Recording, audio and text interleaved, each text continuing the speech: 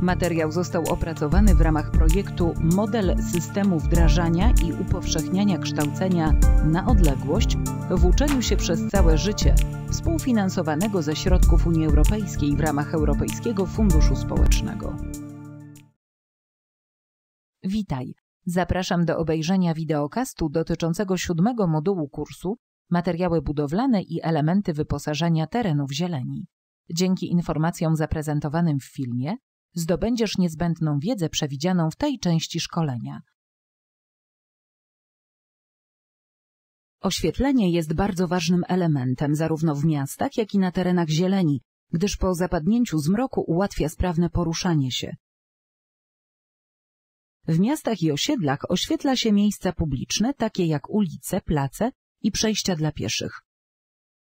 Podstawowymi urządzeniami służącymi do oświetlenia są latarnie, składające się ze słupa o wysokości od 3 do 5 metrów i lampy, w których stosuje się klosze osłaniające źródło światła i równomiernie je rozpraszające.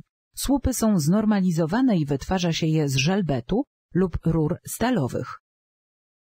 W terenach zieleni oświetla się również drogi jezdne, drogi dla pieszych oraz różne elementy ogrodowe. Niskie latarnie mogą być używane do oświetlania ciekawych detali w ogrodzie. Można je ukrywać za krzewami, w zagłębieniach terenu, umieszczać na drzewach lub na specjalnych masztach. Takie oświetlenie zwiększa również bezpieczeństwo użytkowników terenu zieleni. Przy wykonywaniu urządzeń oświetleniowych dąży się do takiego usytuowania źródła światła, aby jak najlepiej oświetlały określone miejsca i nie raziły wzroku światłem bezpośrednim. Dlatego źródła światła powinny znajdować się poza polem widzenia. Najbardziej przystosowane pod tym względem są światła umieszczone na wysokich masztach, stadiony, skierowane w dół i równomiernie oświetlające duże powierzchnie, nie rażąc wzroku.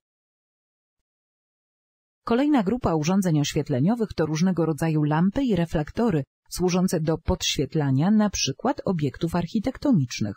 Są one przystosowane do ustawiania, zawieszania lub osadzania na masztach. Oświetlenie takie eksponuje detale oraz tworzy niepowtarzalny nastrój. Dziękuję za uwagę i zachęcam do zapoznania się z pozostałymi materiałami dydaktycznymi zamieszczonymi na platformie edukacyjnej.